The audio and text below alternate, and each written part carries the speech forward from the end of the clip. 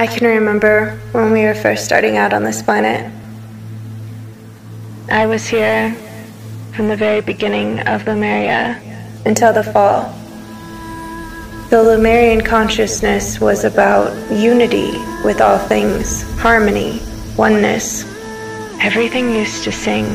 Everything was dancing in a harmonious frequency.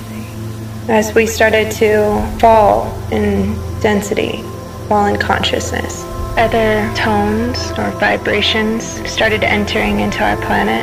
Another species had blown up their planet from their warring and fighting nature, but this species came in and they did not respect us. They started to build things that were not in alignment with the earth.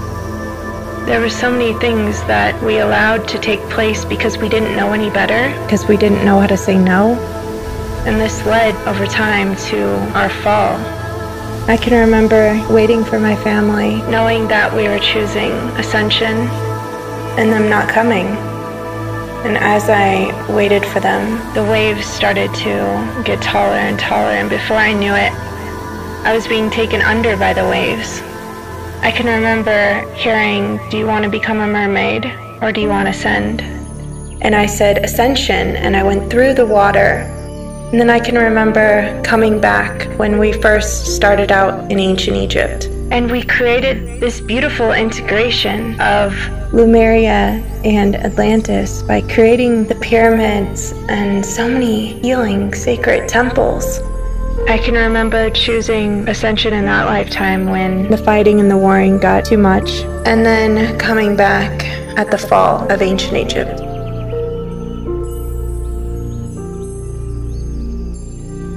as Queen Cleopatra. By this time, everything had changed. Everything on the planet had just become this warring nature.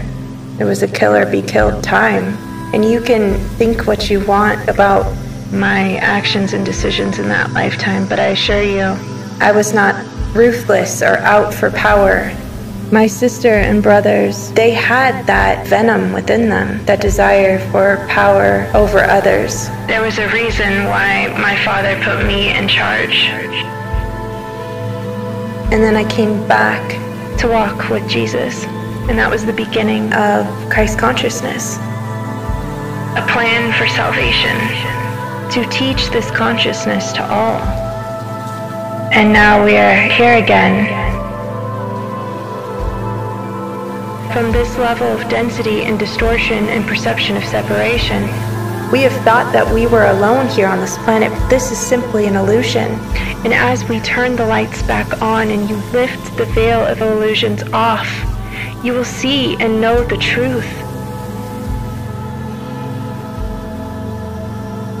Now is the time for us to collectively join as one unified field of consciousness